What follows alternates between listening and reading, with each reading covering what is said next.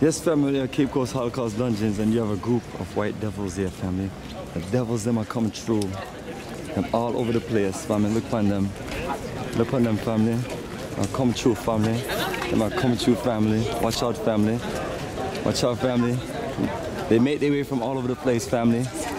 And then come learn about our history and culture, family. We as a people must do better than this. This Holocaust dungeon should be dominated with us learning about what happened to stolen African ancestors. Instead, all I see is European devils all over the place. All I see is devils, family. Devils everywhere. We got to be careful. Careful of the devil, family. What if we can just lock them down there? What if we can just lock them down in a cell and let them see what our ancestors had to deal with? What if we just close the door and leave them down there for about two days without no air and water? Yes, family.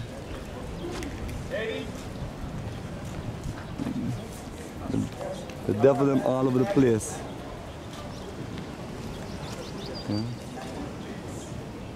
The white devils take over at Cape Coast Holocaust Dungeons.